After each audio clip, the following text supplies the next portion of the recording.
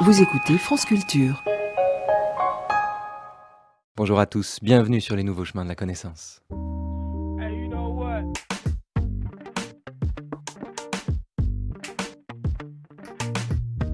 Diffusés tous les jours de 10h à 11h du lundi au vendredi, les nouveaux chemins sont réalisés cette semaine par Bertrand Chaumeton avec Jacques Azubert à la technique et préparés par Jeanne-Marie Roux, Avril Ventura, Mathilde Unger, Geneviève Méric et Adèle Van Rett.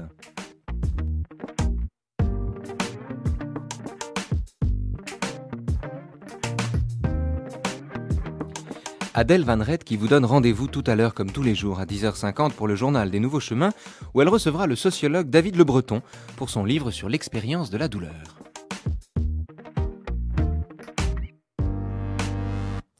Suite et suite, ce jeudi, d'une semaine sur Aristote, dans les nouveaux chemins de la connaissance. Après Frédéric Werther, venu lundi vous parler du caractère, Bernard Sicher, venu mardi vous parler de Dieu, Annick Stevens, venu évoquer la physique aristotélicienne, et avant Anne Merker, qui demain vous racontera l'éthique à Nicomaque, c'est Francis Wolff, le philosophe Francis Wolff, à qui l'on doit notamment un excellent Aristote et la politique paru aux presses universitaires de France. Francis Wolff, donc, qui est aujourd'hui l'invité des nouveaux chemins.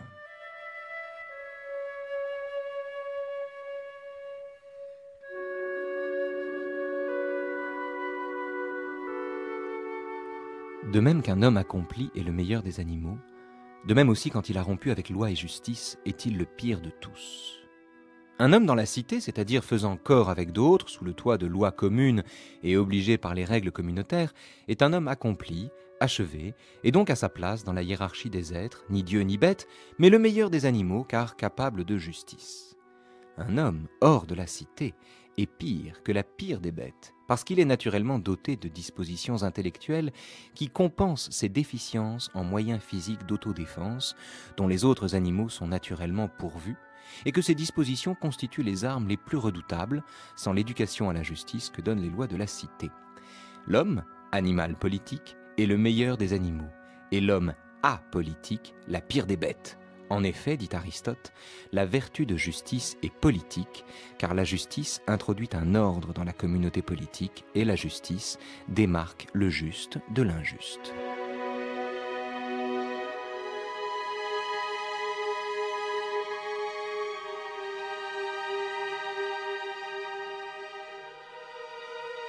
Bonjour Francis Wolff. Bonjour Raphaël. Bonjour, c'est un plaisir, c'est une joie de vous accueillir pour la première fois euh, au nouveau chemin de la connaissance et qui plus est pour parler d'Aristote que vous connaissez comme votre poche. Euh, Francis Wolff, c'est vous que je viens de lire là, hein, un extrait de, du petit livre très utile que vous aviez écrit sur Aristote, Aristote et la politique, dans la collection Philosophie aux presses universitaires de France. Et on va partir de ce texte et de ce qu'on sait ordinairement d'Aristote quand on ne l'a jamais lu à savoir qu'Aristote est l'auteur d'une phrase fameuse L'homme est un animal politique. Faisons un sort euh, à cette phrase, expliquons-la. Que signifie-t-il quand il dit cela? Il signifie beaucoup de choses. Euh, la première, c'est que euh, zoon, qu'on traduit par animal, en réalité ne signifie pas exactement animal. Ça signifie un vivant, ça signifie un mode de vie, cela signifie une façon euh, de vivre et de réaliser euh, son être. Pourquoi on traduit ça par animal en général hein? Mais Parce qu'il n'y a, pas de bon, il n'y a pas de bonne traduction dans la mesure où pour Aristote, euh, si on voulait rester à l'idée moderne d'animal, on dirait qu'il y a pour lui trois faunes. Il y a des animaux qui sont en dessous de nous, si je puis dire, des bêtes. Euh, il y a des animaux qui sont au-dessus de nous, c'est ce qu'on appelle des vivants immortels, des zoa immortels, car les dieux sont des vivants, et on ne dirait pas aujourd'hui dans la langue moderne que ce sont des animaux.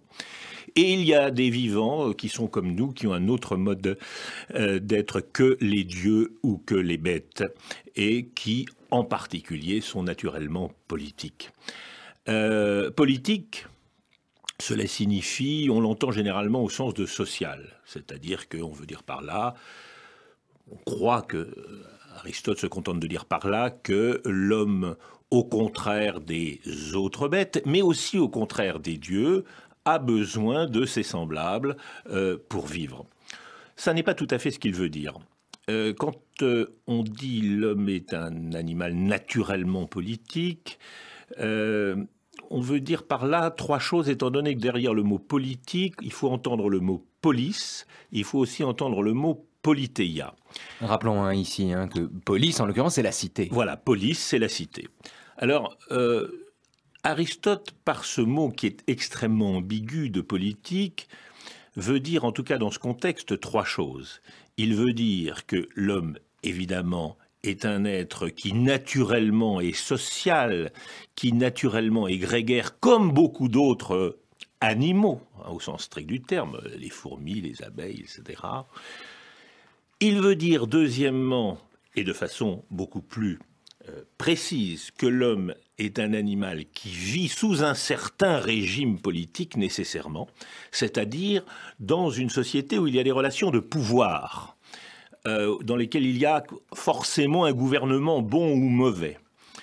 Et il veut dire troisièmement que l'homme, dans ce qu'il a de plus élevé et de plus réalisé, de plus authentique, vie ou devrait vivre dans une police, comme les hommes les plus accomplis, c'est-à-dire les Grecs, et comme ceux des Grecs les plus accomplis, ceux qui véritablement vivent dans une cité qui est d'ailleurs, euh, comment dirais-je, à son un point de décadence au moment où Aristote euh, écrit ceci avec peut-être une pointe de nostalgie.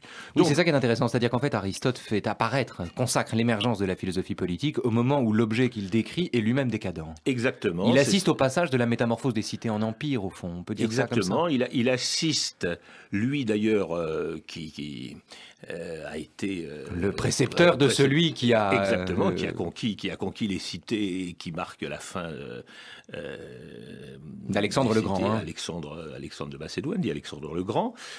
Il est contemporain de ce moment où la cité euh, le toit de la cité pour euh, les Athéniens, les Spartiates, mais particulièrement pour les Athéniens, eh bien, est en train de s'écrouler.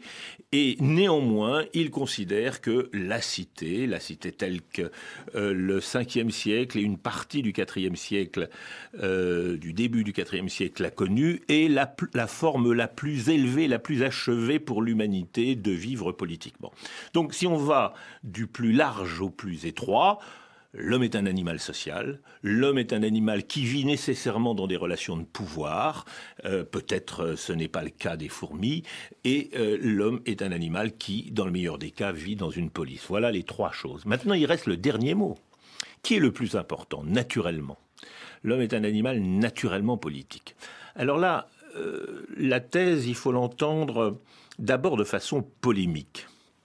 D'abord de façon polémique parce que voilà, si on voulait simplifier euh, l'histoire de la philosophie politique, hein, euh, et si on voulait donner euh, une première idée de les, des grandes divisions à l'intérieur de la philosophie politique, on dirait qu'il y a d'un côté des gens qui pensent que la politique ou la vie en société ou la vie en cité est naturelle et ceux qui pensent qu'elle est le fait d'un contrat ou d'une convention. Et il y a des gens à l'époque d'Aristote, et même euh, des gens euh, à une époque précédente, euh, notamment les grands sophistes du 5e siècle, Lycophron par exemple, qui ont inventé l'idée qui va devenir fondatrice de la philosophie politique moderne. Une sorte d'antinaturalisme politique. Exactement, c'est-à-dire l'idée contractualiste. Ça, c'est ça. C'est intéressant parce que c'est une idée qu'on fait remonter en général au XVIe, XVIIe siècle, alors qu'en réalité, les sophistes sont les pères de la du contractualisme. Euh, Lycophron, probablement Protagoras pour, euh, pour ce qu'on peut en savoir, est euh, à l'origine de l'idée que les hommes, naturellement, c'est-à-dire, disons, à l'état originel, euh, ne vivaient pas en société ou en, dans une société articulée politiquement, et décrivent un peu la vie originelle comme une sorte alors selon les cas, mais comme une sorte d'état qu'au XVIe siècle on appellera l'état de nature, c'est-à-dire des individus isolés, mais qui à un certain moment ont besoin les uns des autres, besoin de s'unir, ont besoin de la force de tous contre la violence de chacun, si je puis dire. Euh, et il y a donc un moment de la convention, du contrat, dans lequel c'est une formule que l'on trouve aussi euh, chez euh, Platon, qui l'analyse, qui la critique, qui en retient d'ailleurs une partie, ne pas se nuire mutuellement. C'est ça l'objet du contrat. Je ne t'attaque pas si tu m'attaques pas. Je ne te fais pas violence si tu me... Bon, évidemment, comment on va faire pour faire respecter le contrat? Va falloir qu'il y ait une autorité extérieure Hein, euh, une police, une armée, euh, des gardiens. Un léviathan. Voilà, ou un État quelconque armé qui va monopoliser la violence légitime et qui va nous empêcher de nous entretuer pour le bénéfice de tous. Bon, ça c'est des théories contractualistes que Aristote connaît. Alors, un de quand il écrit naturellement politique, cela signifie d'abord, oui, naturellement et pas contractuellement. Pourquoi? Parce que au contraire des contractualistes, Aristote pense que les hommes n'existent pas à l'état d'individus isolés, comme des Robinsons. Euh, que il pourrait exister quelque part des Robinsonades, mais euh, ce ne seraient pas des hommes achevés. Ça, c'est la première raison. Et la deuxième raison, qui est au fond euh, la plus fondamentale, c'est qu'il pense qu'on ne s'associe pas pour survivre. On ne s'associe pas pour ne pas s'entretuer. On ne s'associe pas même comme aurait voulu euh, Locke, pour pouvoir préserver chacun notre petit lepin, notre petite propriété privée qu'on ne va pas. Bon, Il n'y a pas de calcul derrière la nécessité de s'associer, c'est une nécessité inscrite dans la, destinée de la nature humaine. Ce n'est pas euh, un besoin que nous avons pour conserver nos intérêts. Ce n'est pas un calcul rationnel, c'est simplement que notre bien, notre bonheur est à, j'allais dire à ce prix, c'est même pas un prix, car c'est au fond tout bénéfice. Hein. Nous n'avons de bonheur, nous n'aurons de bonheur individuel que dans la vie collective et sous le toit des lois. Et ça, c'est le texte que vous avez lu pour commencer, Raphaël. Sous le toit des lois, les lois ne sont pas faites pour nous empêcher, pour nous réprimer. Mais pour permettre. Mais pour permettre, et pour permettre de nous réaliser. Car, euh, de nous réaliser, euh, car les lois sont en même temps, pour Aristote, un moyen d'éducation. Nous, nous, les lois nous indiquent le droit chemin. On est tout à fait loin du concept moderne de loi euh, C'est-à-dire qu'en vérité, quand vous parlez ici de droit chemin, vous l'opposez au chemin du droit. Ce n'est pas la même chose. Le droit chemin, en l'occurrence, c'est une nécessité interne qui n'obéit pas à un autre calcul qu'elle-même. Exactement. C'est-à-dire que euh, euh, il y a derrière le naturalisme d'Aristote, si on peut peut-être ouvrir une, parenthèse, il y a quelque chose de tout à fait singulier qui nous euh, qui échappe un peu à nos critères, mais qui peut être extrêmement intéressant pour nous, sur lesquels il peut être intéressant pour nous de revenir. Une des grandes questions que nous nous posons, euh, que les hommes euh, en philosophie se posent depuis deux, trois siècles, c'est la question que devons-nous faire? Bon, qu'est-ce qui est bien, qu'est-ce qui est mal? Dans une philosophie comme celle d'Aristote, cette question n'a pas de sens. Pourquoi? Parce que ce que j'ai à faire, c'est ce que je suis. Et le problème, c'est que ce que je suis, je ne le suis pas tout à fait, je ne le suis pas entièrement, je ne le suis pas encore. J'ai à être ce que je suis, mais quand je serai complètement ce que je suis, c'est-à-dire un homme, alors je serai parfaitement heureux. Il n'y a aucune distinction, aucune division, aucune opposition entre l'être et le bien. Ou comme aurait dit Hume, il n'y a pas de difficulté de passage de is à should, de ce que je suis à ce que je dois faire. Car en réalisant mon essence d'homme, qui est inscrite en moi naturellement, en la réalisant, je ne pourrais pas être dans un meilleur état possible, et par conséquent, je n'ai pas à me poser la question de savoir ce que, je dois faire. Donc, quand on dit l'homme est un animal naturellement politique, on veut dire que chaque homme réalisera sa nature d'homme, et ça va aller jusqu'au paradoxe, même l'esclave c'est ce que j'allais vous dire. On y vient. même l'esclave, privé de tout droit, réalisera sa nature d'homme, je dis bien d'homme, en obéissant au maître. Aristote parle des esclaves comme d'hommes?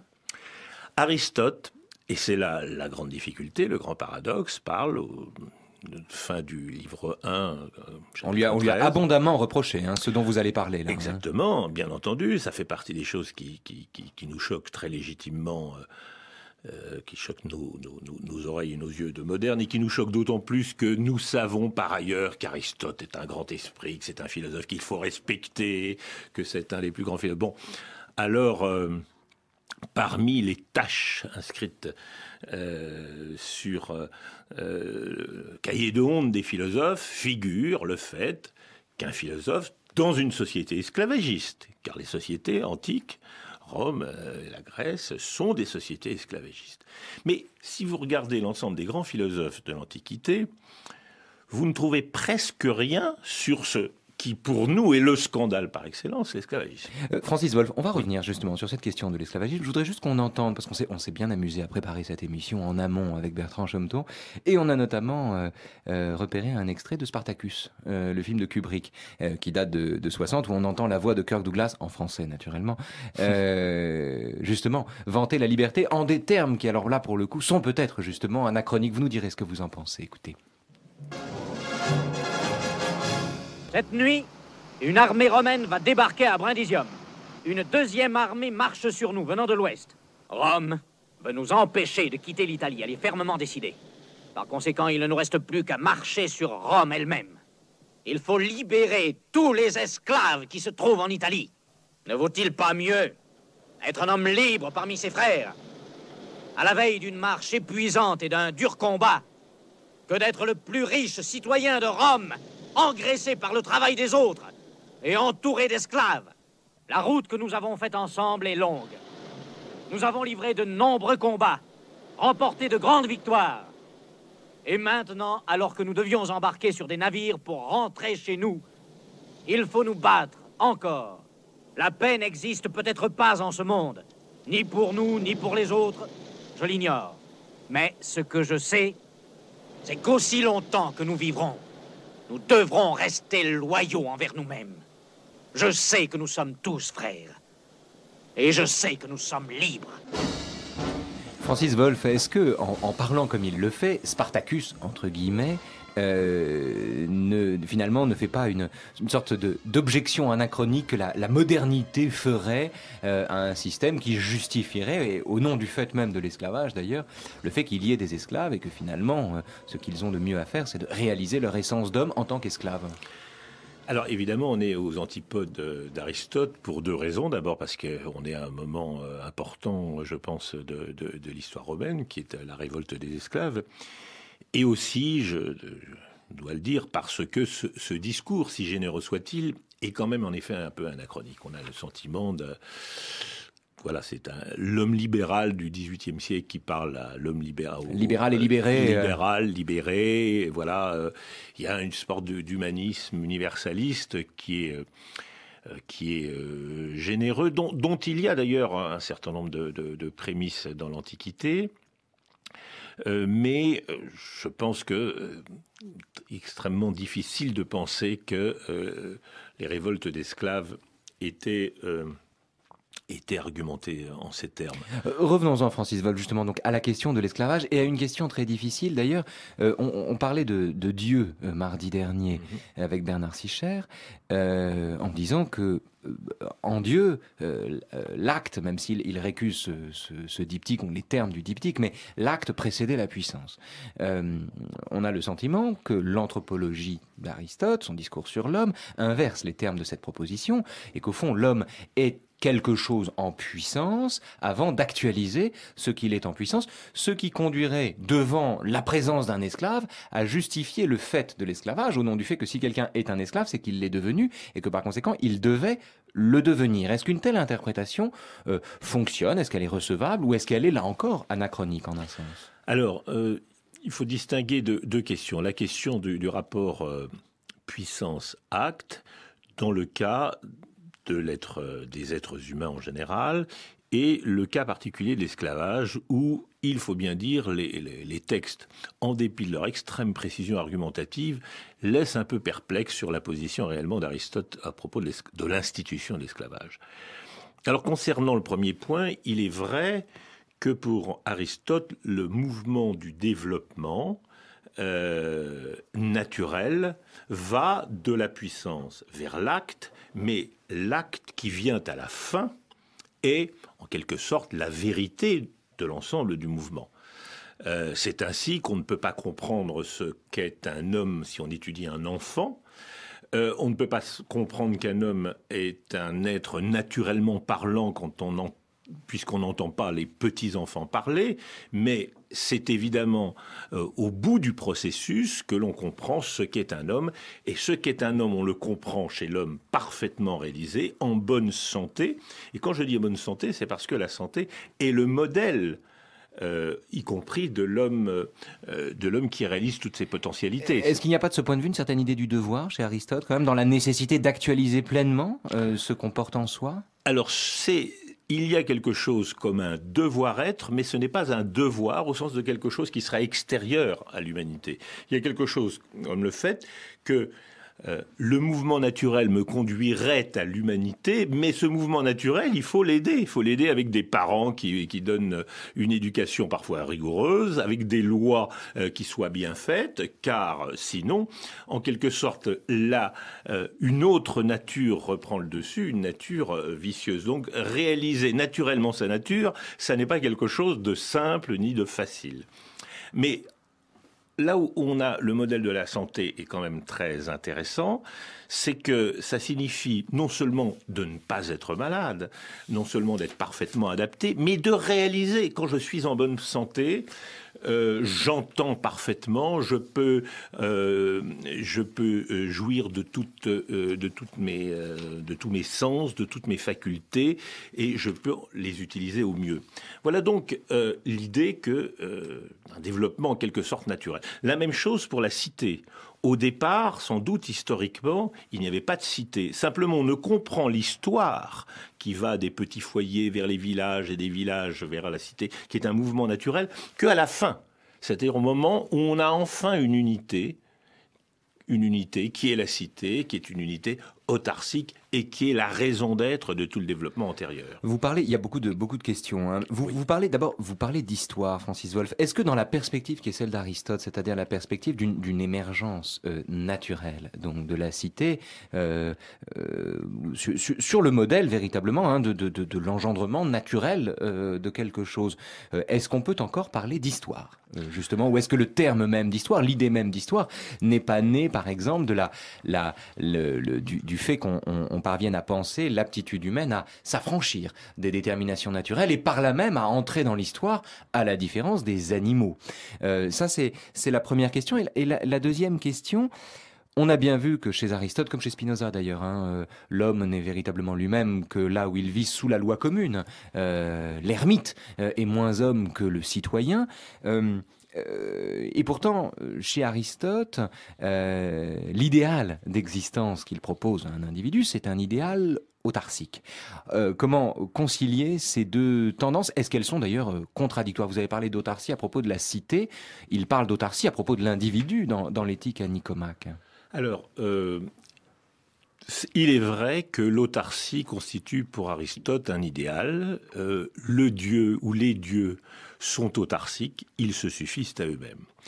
D'une certaine manière, il y a un idéal qui apparaît surtout à la fin de l'éthique à Nicoma, qui est un idéal d'autarcie du sage, qui, euh, en quelque sorte par imitation de la vie divine, euh, se contente euh, d'une vie qu'on appelle contemplative, purement théorique, la vie j'allais dire du chercheur. En réalité, pour Aristote, l'idée de, de, de, chercheur n'a pas de sens, puisque le chercheur serait pour lui un inquiet qui cherche toujours autre chose, alors que dans la vie théorétique, je contemple, euh, grâce à mon savoir, l'état du monde. Bon, autrement dit, la vie scientifique ou la vie philosophique. Euh, et dans ce cas-là, je ne demande qu'à la cité de me laisser tranquille. Mais euh, il y a un autre idéal qu'on a parfois considéré comme une contradiction avec le premier, c'est une chose discutée, euh, qui est un idéal de réalisation proprement politique, la vie active par opposition à la vie contemplative. Et dans cet idéal, l'autarcie ne se réalise pas dans l'individu ni par l'individu, mais ne peut se réaliser que au sein de la cité et par la cité. C'est au sein, euh, d'une part, parce que c'est par là que je réaliserai toutes mes potentialités pratiques, mais d'autre part, c'est parce que je vais, en quelque sorte, grâce à la cité, bénéficier de quelque chose euh, que seule elle peut me donner, qui est l'amitié, c'est-à-dire la relation affective avec mes semblables. Que se passe-t-il? Je n'y comprends rien. Il y avait une ville et il n'y a plus rien. Je me souviens que je marchais, que je marchais dans une rue, au milieu de la cohue, sous un joyeux soleil de mer. C'était plein de couleurs, de mouvements et de bruits. Une fille m'a souri et je me souviens que je la suivais. Je la suivais sous le joyeux soleil de mer. Francis Wolff, le philosophe Francis Wolff est l'invité des Nouveaux Chemins de la Connaissance ce jeudi dans une semaine sur Aristote. Francis Wolff, à qui l'on doit notamment un excellent Aristote et la politique, paru aux presses universitaires de France dans la collection Philosophie. Que dans le ciel bleu de midi, de plus en plus fort j'entendis, comme arrivant de l'infini, ce drôle de bruit. Ce drôle de bruit, je me souviens que les gens. Francis Wolff, je pressens alors qu'on est à mi-chemin de cette conversation qu'elle va être bien trop courte pour dire tout ce qu'il y aurait à évoqué euh, sur cette question des, politiques d'Aristote. Euh, on va revenir euh, sur des questions cruciales, denses et, problématiques, et, qui ont été ensuite abondamment discutées, et des textes qui ont été abondamment reprochés justement à son auteur. C'est la, question de l'esclavage et les questions qui se posent autour de ce, de ce fait-là. dans quelle mesure peut-on exonérer, d'ailleurs le faut-il, Aristote de l'accusation d'esclavagisme euh, qu'on a porté euh, à son endroit. Et au-delà de cette question, peut-être n'est-ce pas tout à fait la même chose d'ailleurs, euh, dans quelle mesure peut-on faire d'Aristote un penseur de la démocratie, autrement appelé l'isonomie? Francis Wolff. Eh bien oui, c'est un des grands paradoxes d'Aristote que c'est à la fois un apologue d'un certain esclavage, et l'apologue d'une certaine démocratie. Ça nous paraît deux choses absolument antithétiques, incompatibles, et pourtant, euh, il y a à la fois matière à indignation et matière à admiration pour euh, un entendement moderne. Matière à indignation. Lorsqu'on lit pour la première fois les trois chapitres qu'Aristote consacre à l'esclavage au livre 1 de sa politique, vous dites la politique ou les politiques hein Je dis ce qu'on veut. Je dis ce qu'on veut. C'est-à-dire que euh, j'ai euh, euh, mon âge me permet d'employer le terme qui était celui des, traductions précédentes, la politique. Pierre Pellegrin a popularisé le, dans son édition GF, par ailleurs tout à fait excellente, le, le titre Les politiques. Il le justifie en partie par le fait que euh, le grec, c'est vrai, dit les livres politiques, mais il dit aussi les livres métaphysiques ou les livres physiques, donc on pourrait multiplier euh, les, tous les titres euh, au pluriel. Cela dit, il a raison sur un point, c'est que dans le cas de ces traités qu'on appelle les politiques, enfin qu'il appelle les politiques plus exactement, il y a une diversité euh, d'études qui font, qui fait que il est extrêmement difficile de penser qu'il l'a conçu comme un livre ou comme un seul traité. Donc, on peut euh, justifier euh, le titre les politiques.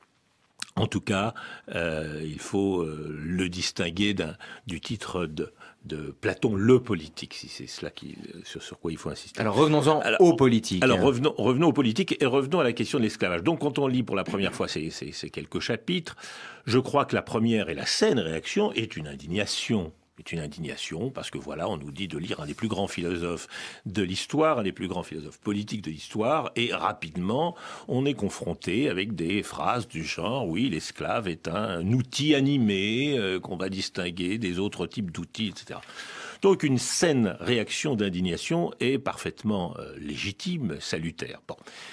Euh, dans un deuxième temps, je crois qu'il faut, une fois que la colère est retombée, il faut relire soigneusement le passage et d'abord, euh, et d'abord voir quelle est la situation à l'époque d'Aristote et comparer ce que dit Aristote avec la situation de son époque. C'est-à-dire qu'on peut, il y a deux choses immédiates qu'il faut remarquer. La première, c'est qu'à l'époque d'Aristote, une grande partie de ce que nous appelons les esclaves, qui est un statut avant tout juridique, ne l'oublions pas, il, peut y avoir des esclaves banquiers, il y a des esclaves policiers. Bon, nous nous imaginons que l'esclave uniquement est une force de travail qui travaille dans les mines, etc. Il y en a aussi. Mais euh, l'esclave peut avoir des fonctions sociales extrêmement diverses. Hein. Euh, Vous voulez dire que l'esclave peut donner des ordres? Non, euh, il, peut, il, peut prêter sur gage, il peut faire, il peut faire de l'argent, il peut faire beaucoup de choses comme ça. Il a donc d'une certaine manière un certain pouvoir, mais si vous voulez, et il n'a aucun statut juridique et dans certaines conditions, il peut être purement euh, réduit, euh, euh, réduit à, un état de bête de somme, encore qu'il y a des lois qui protègent dans certains cas enfin, les esclaves de, de l'excès des mauvais traitements. Bon, mais ce qu'il y a de plus étonnant quand on relit ces passages, c'est que Aristote étudie l'institution de l'esclavage au travers de l'institution de la famille. Et ça, c'est tout à fait étonnant. Il ne va pas l'étudier euh, comme euh, à l'intérieur euh, d'une institution que seraient, par exemple, les exploitations minières, l'agriculture, en se disant, bon, comment on va, comment on va transformer, comment on va extraire tel ou tel minerai, etc. Non, à l'intérieur de la famille, comme un des trois types de relations familiales.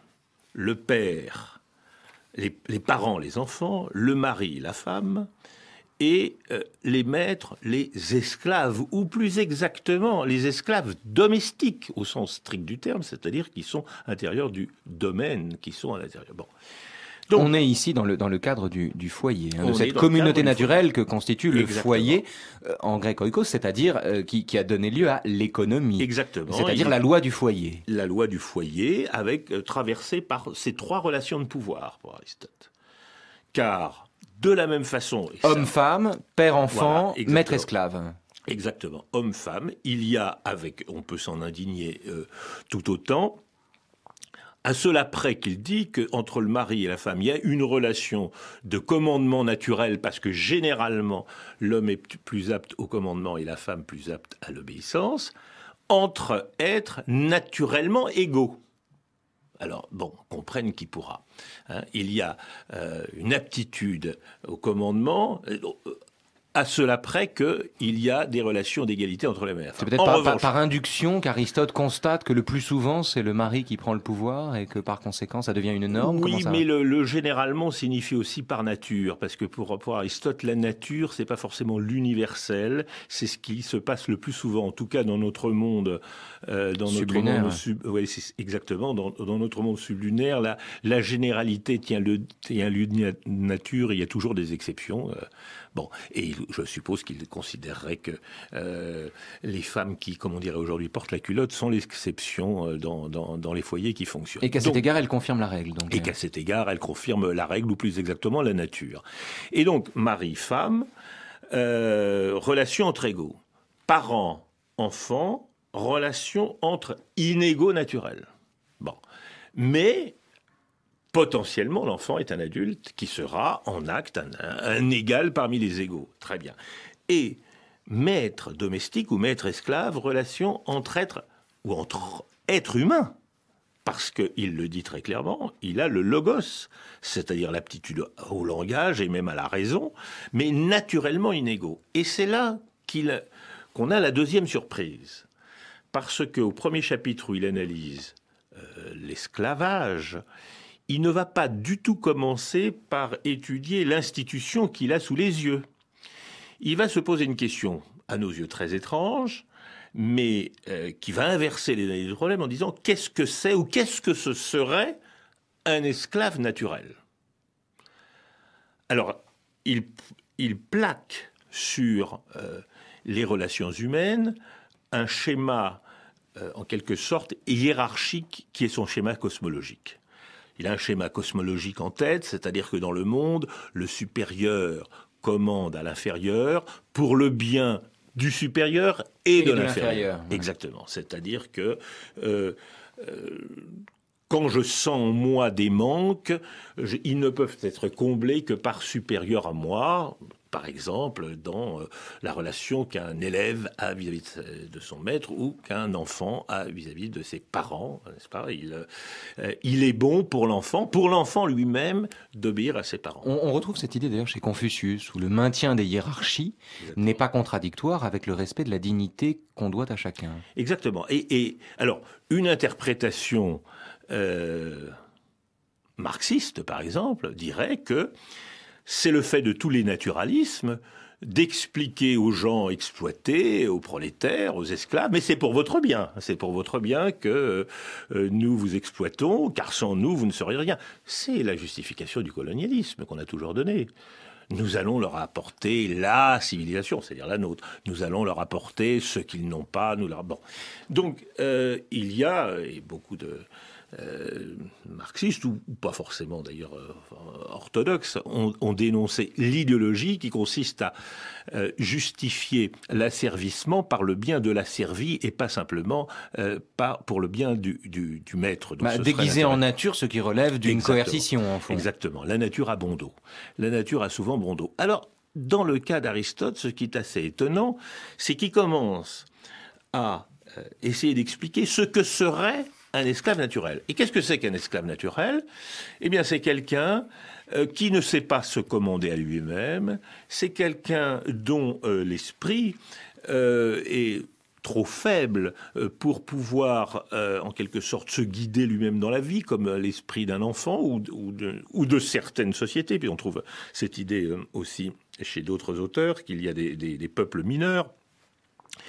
Donc on peut imaginer que le bon esclave domestique, ou plus exactement naturellement esclave, c'est celui qui a un corps robuste et un esprit un peu faible, qui peut comprendre les ordres, qui peut les admettre et qui, avec qui d'ailleurs on, traite gentiment, qu'on traite gentiment, mais euh, qui, euh, qui ne peut, avec lequel on ne peut avoir que des relations de commandement. Et le maître, le maître naturel, c'est celui qui, au contraire, euh, se commande à lui-même, c'est ce qui est bon pour lui, ce qui est bon pour l'esclave et ce qui est bon pour la communauté, le foyer qu'il forme. Voilà. Le problème, enfin, les, deux problèmes sont les suivants, c'est que quand vous allez voir autour de vous, c'est-à-dire plus exactement si Aristote fait le tour de ce qu'il voit autour de lui, eh bien, est-ce que c'est comme ça que euh, les gens ont acquis leurs esclaves? Pas tellement, parce que soit c'est des prises de guerre, bon, et alors ça devient le droit du plus fort, on n'est plus dans, les, dans le droit... Euh, on et on aurait la, ratification naturaliste de ce qui relève juste du droit du plus fort. Exactement, ou des circonstances de guerre particulières. Euh, soit bah, parce que vous avez euh, pris votre porte-monnaie, vous êtes allé au marché aux esclaves, vous vous dit bon voilà j'achète celui-là parce que parce que j'en ai les moyens. évidemment, il y a une, fossé complet entre l'esclavagisme naturaliste d'Aristote et l'institution telle qu'elle fonctionne. De là le fait qu'il va renvoyer dos à dos ceux qui, à la fois, condamnent l'esclavage et à la fois ceux qui, euh, en quelque sorte, font l'apologie de l'esclavage tel qu'il se trouve, il les renvoie dos à dos en disant euh, en réalité, les choses ne devraient pas se passer de cette façon-là. L'esclavage esclavagiste, oui, mais pour un esclavagisme naturaliste. Alors, est-ce que... Au fond, le problème, c'est que les maîtres déshonorent l'esclavage? Le, Comme à la façon dont Bernanos pouvait dire de Hitler qu'il déshonorait l'antisémitisme. Ah oui, alors là, je, ne sais pas si on peut l'honorer. Mais euh, dans le cas de, dans, le cas d'Aristote, oui, on peut dire que la manière dont l'esclavagisme euh, institutionnellement euh, était pratiqué déshonore ou en tout cas pervertit ce qu'il y aurait pour Aristote de sauvable et même de juste dans euh, une institution euh, de, l'esclave domestique. Le point, je répète, fondamental, c'est que Aristote le place dans le cadre des relations intrafamiliale. Mais est-ce qu'il n'y a pas, alors du coup, pardon Francis Wolff, une, une, brèche dans le naturalisme aristotélicien qui serait justement ces, ces atermoiements autour de la question de l'esclavage, cette incertitude, ou bien le, le, le, constat que les faits démentent ce qu'il ce qu'il semble appeler de ses voeux ou ce qu'il voudrait décrire, à savoir cette naturalité euh, de la société? Est-ce que finalement Aristote ne découvre pas ici, j'allais dire presque le, le droit d'une certaine manière euh, Est-ce qu'il n'y a pas une, une, une tension à l'intérieur de la pensée d'Aristote, justement, entre, parce qu'il est honnête, entre d'un côté euh, ce qu'il voudrait voir ou qu'il croit décrire, et d'autre côté ce qu'il voit effectivement et qui semble contredire. Alors, c'est vrai. Euh, en ce sens que euh, la les réalités qu'il a sous les yeux, et particulièrement dans le cas de l'esclavage, qui constitue, il est vrai, un cas assez particulier dans les analyses aristotéliciennes, puisque c'est un des très rares cas où Aristote ne commence pas, comme la plupart du temps, par analyser les positions en présence, les opinions des uns et des autres, euh, euh, opposer les faits qu'on trouve ici aux faits que l'on trouve là, euh, et en, essayer d'en dégager une espèce de vérité à partir de la confrontation empirique des faits ou des opinions. Il fait tout à fait le contraire il fait, et c'est très exceptionnel, un certain nombre de commentateurs l'ont relevé à juste titre, c'est très exceptionnel chez lui, qui commence par dire euh, voilà ce que devrait être l'esclave, et en fait, euh, voilà pourquoi les choses... Bon. Donc il y a, est-ce que c'est signe d'une gêne de sa part? J'ai l'impression que... Euh, Ou est-ce que c'est anachronique de le dire, là encore?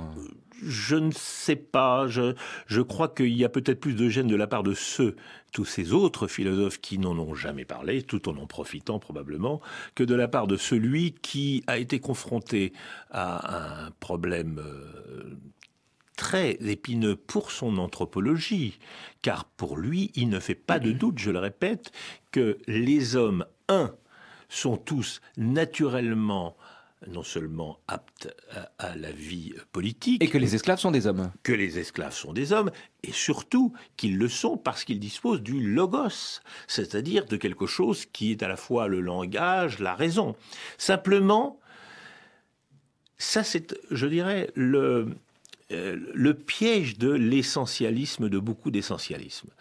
Ce que euh, vous appelez, je précise juste, ce que vous appelez essentialisme, c'est toute doctrine finalement qui considère que le développement humain, ou plus exactement que le fait d'avancer dans la vie, n'est que le développement d'une essence préalable, et que nous ne faisons qu'actualiser ce que nous portons en germe à la façon dont le chêne actualise le grain qui lui a donné le jour. Le, le exactement. Le, grand avantage de l'essentialisme, je l'ai dit tout à l'heure, c'est que nous n'avons pas à nous poser la question que faire. Ce que nous avons à faire, c'est ce que nous sommes, et donc j'ai à réaliser mon essence. Il suffit que j'ai bien compris ce que c'est que mon essence. On trouve ça aussi chez les stoïciens. Mon essence est définie par mon ergone, par mon officium, euh, ma fonction propre. Ma hein. fonction propre, exactement, par ma fonction propre. Une fois que je l'ai bien compris, je les réalise et quoi qu'il arrive, je serai heureux, je serai, je ferai quelque chose qui est bon. Il n'y a pas de différence entre être et être bon. Ça, c'est le grand avantage. Le grand inconvénient, c'est que ça ne correspond pas aux réalités. Alors, euh, si tous les hommes ont la même essence par définition, mais on est tous différents. Alors, comment comprendre cette différence? Eh bien, on va l'interpréter, en tout cas dans le cas d'Aristote, en fonction du schéma par ailleurs euh, naturaliste hiérarchique qu'il a dans la tête.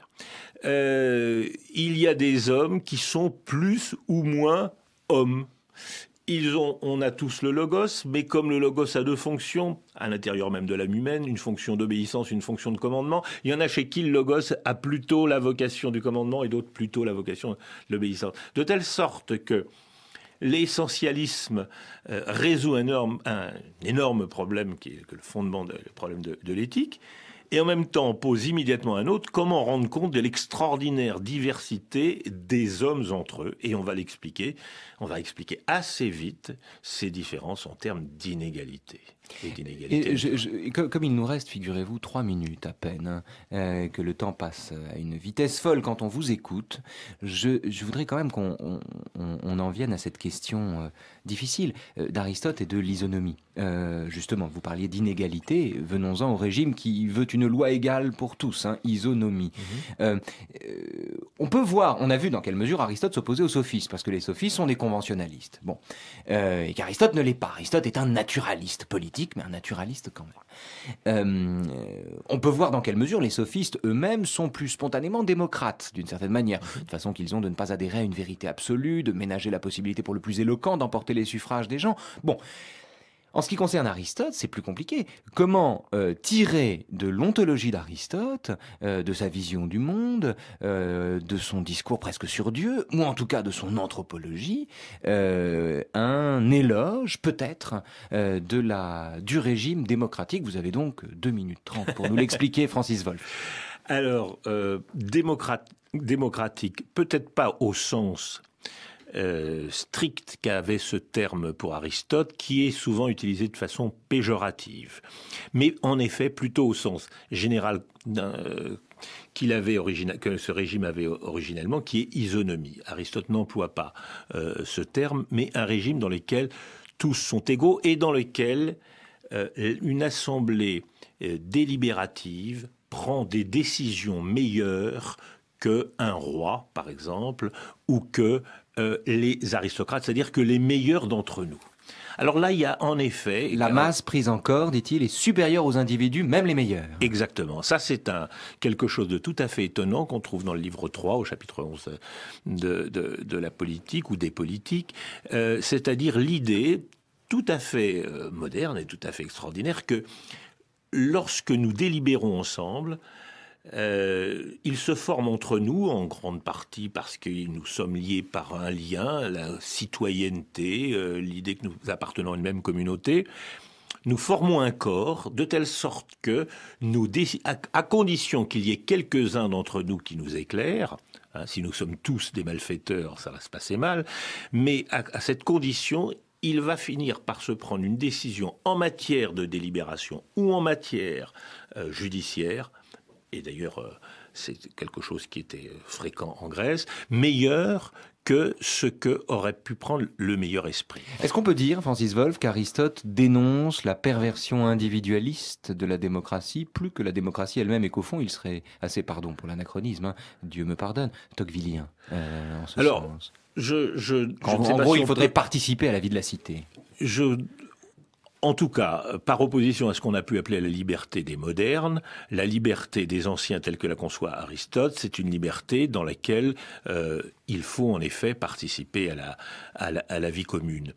Euh, je pense néanmoins que euh, son, éloge de, quelque chose comme la délibération démocratique, lutte contre deux types de d'écueils d'un côté une loi qui serait euh, aveugle au cas particulier, alors que dans une masse, lorsqu'il y a une masse de délibération, on tient compte de tout un tas de cas particuliers dont on n'aurait pas pu tenir compte. Et d'un autre côté, le fait qu'un roi, même le meilleur des rois, le plus éclairé, est forcément un homme, et donc cède toujours à ses humeurs ou à ses passions.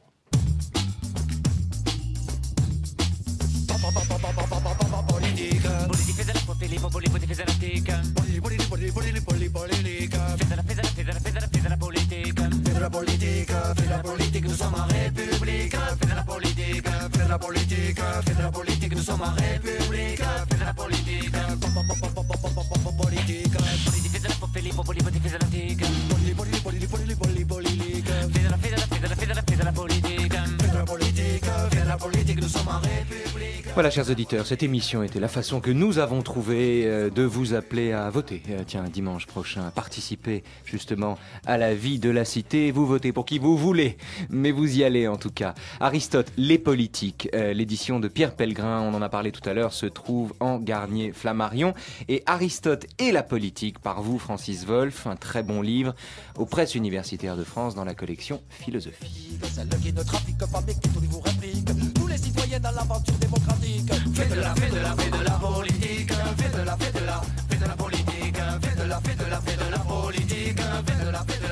de la politique. Si tu n'en fais pas, c'est elle qui te fabrique. Sans que tu le saches, elle te domestique. Sans examiner ni les paroles ni la musique. Tu joues la partition des fanfares idéologiques. Et même le soyant être authentiquement critique, tu entends les anciennes partisanophobes Quantique, quantique, classique, classique d'une kick. C'est que tu laisses organiser la vie publique.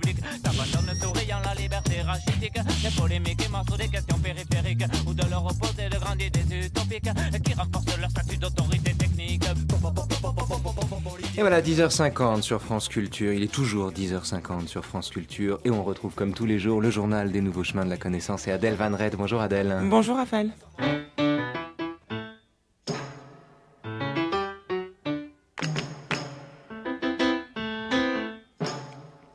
Nous parlez aujourd'hui des expériences de la douleur. Oui, on change complètement de sujet puisqu'on va parler d'un excellent livre qu'on trouve en ce moment en librairie et qui parle de la douleur, donc des expériences de la douleur entre destruction et renaissance.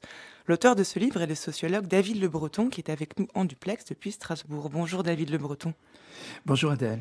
Vous avez beaucoup travaillé sur le corps en général hein, et sur, sur la douleur en particulier. Vous avez écrit de nombreux livres sur le sujet, notamment un ouvrage sur les blessures de soi intitulé La peau et la trace, et notamment, entre autres, également une anthropologie de la douleur.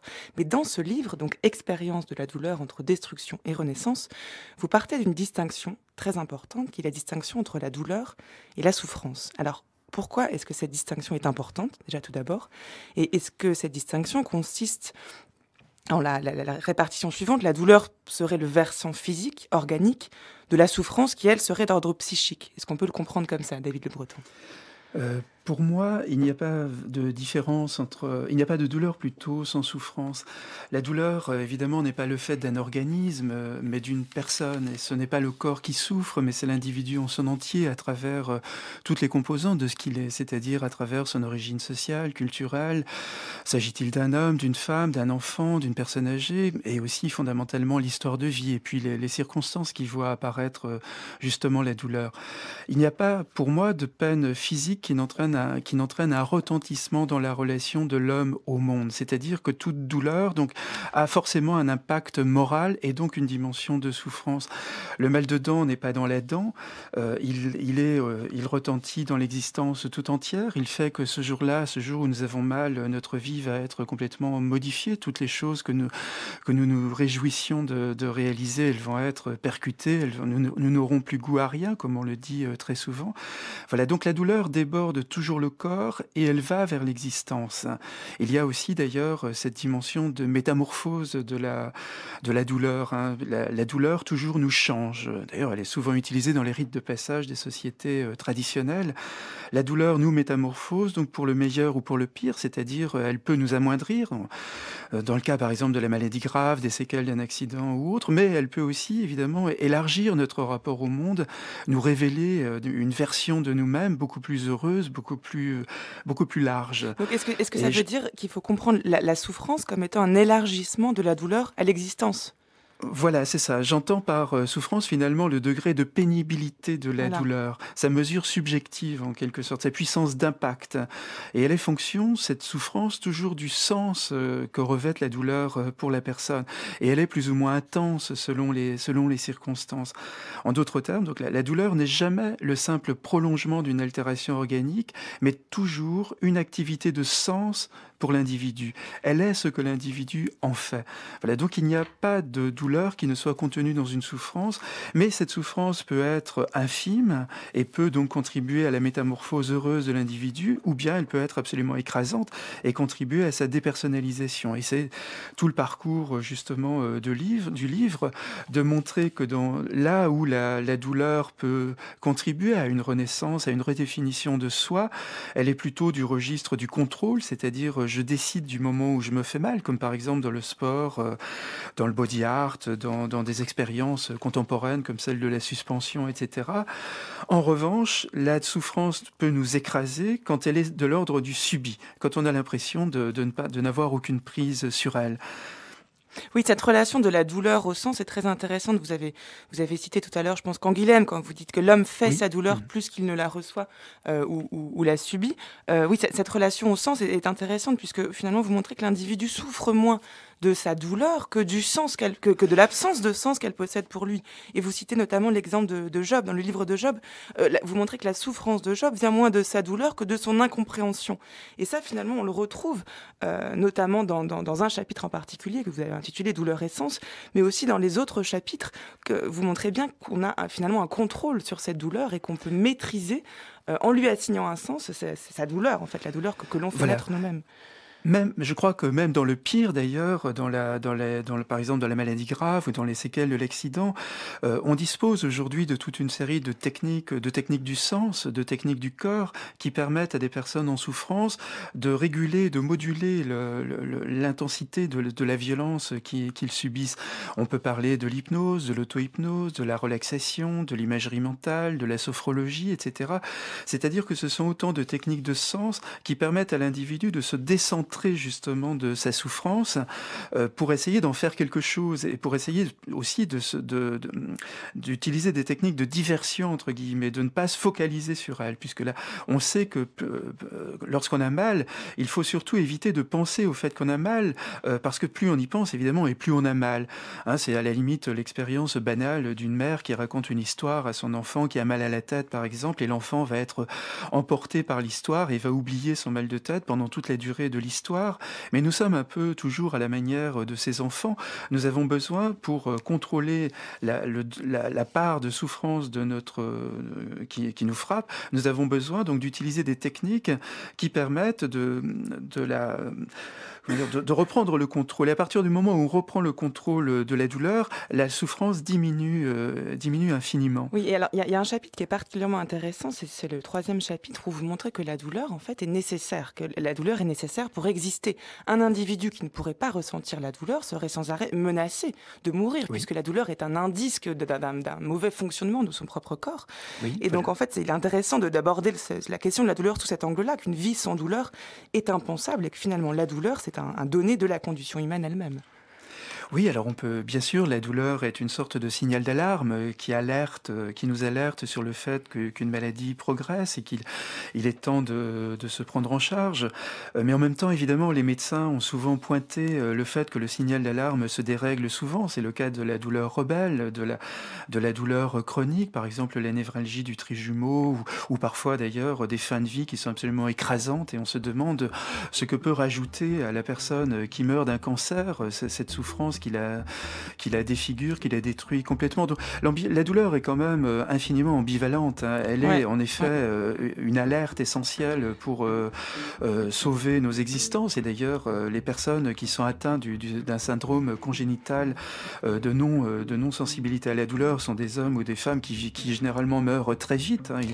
Ils, par exemple, ils vont manger des aliments qui sont brûlants sans s'en apercevoir. Ils vont se coincer un drap. Merci David Le Breton. Je suis, je suis désolée, on est on est obligé d'interrompre cet entretien maintenant, puisqu'on est déjà au terme de, de, de, l'entretien. Mais en tout cas, je rappelle le titre de votre livre, qui est donc un excellent livre, et je, je recommande sa lecture à, à, tout le monde. Expérience de la douleur au pluriel entre destruction et renaissance, et c'est aux éditions Métellier. c'est une douleur d'interrompre cet entretien. Vous vouliez de nous parler de la philosophie du jardinier aussi. Oui, les éditions Milan publient ce mois-ci une petite philosophie du jardinier. L'auteur est Martine Lafont, qui nous montre que si on n'a pas besoin d'être philosophe pour profiter d'un espace à soi qui fleurit au printemps, on peut essayer de penser le jardin comme une petite leçon de philosophie celle de l'éphémère et de la durée, et celle aussi d'une nature sauvage que l'on veut à tout prix maîtriser. Alors si on y réfléchit, qu'est-ce qui est en jeu dans le désir d'avoir un jardin? Et que veut dire Candide, par exemple, lorsqu'il affirme qu'il faut cultiver notre jardin? Alors l'auteur s'intéresse à tout ce qui fait un jardin, de la graine à l'arbre, de la mauvaise herbe au potager, des jardins ouvriers au jardin des ronds-points. C'est un livre qu'on lit comme on se promène, au gré des références littéraires et philosophiques. Ça s'appelle donc Petite philosophie du jardinier, et c'est aux éditions Milan. C'est noté Adèle, on retrouve tout ça hein, sur notre site internet à la page des nouveaux chemins de la connaissance. J'ai à peine le temps de vous donner rendez-vous demain de 10h à 11h, comme tous les jours, pour la suite et la fin de cette semaine sur Aristote, en compagnie d'Anne Merker, qui vous parlera de l'éthique à Nicomaque. On se retrouve aussi, donc, euh, comme tous les jours, euh, à toute heure du jour et de la nuit sur Internet, à la page des Nouveaux Chemins. Vous pourrez réentendre et télécharger toutes nos émissions. À demain matin, donc, France Culture, 10h59. Dans un instant, question d'époque.